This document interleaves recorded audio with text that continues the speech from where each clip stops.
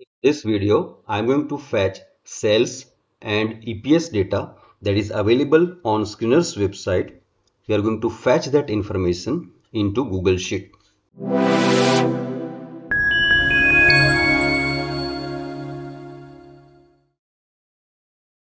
For any script that we select from here, we can frame this URL.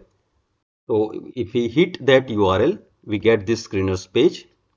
So on this page, the data in which we are interested is available in this table.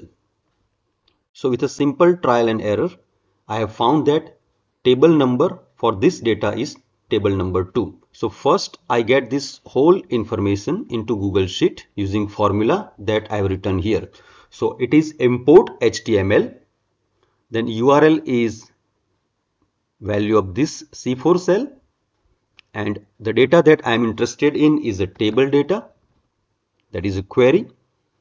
And what is the table number? So table number is 2 which is this table.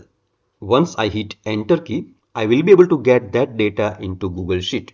Now next I'm going to write individual query to get this information here to get this information here. So to frame those queries, I need column numbers. So those column numbers I've written here. My data is starting from here. Uh, this will be column number one. And in the same way, I've written column number for, for all these columns. So data in which I'm interested is in column number 13. So just remember that shortly we are going to write formula using that column number 13.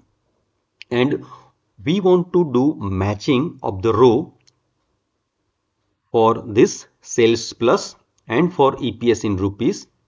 So that information is in column number 1. So basically in the query that we are going to write, we are going to use this column number 1 and column number 13. So now let's see how to write that formula.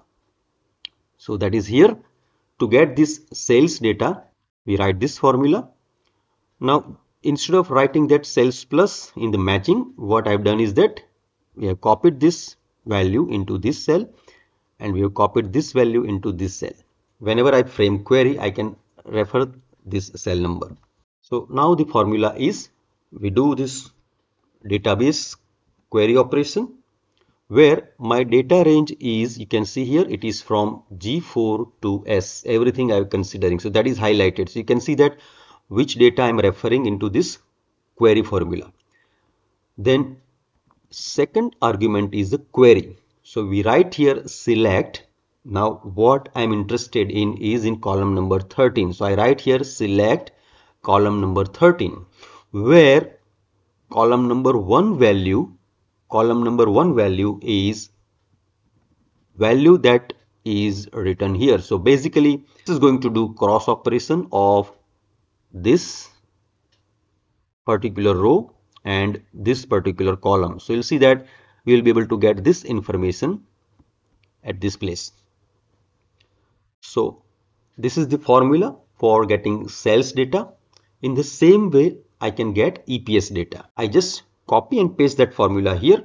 But now one change I have to do in that formula is instead of comparing it with column 1 with D1, I am going to compare that column 1 value with E1. So that is the one change.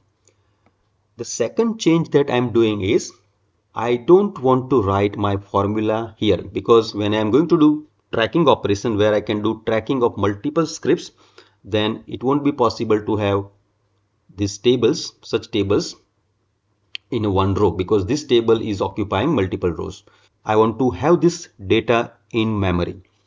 So that is what I have done. Now in very simple way you can understand that if I want to replace this formula to have in-memory data, then what changes I have to do is just replace this data range by the formula that is present here.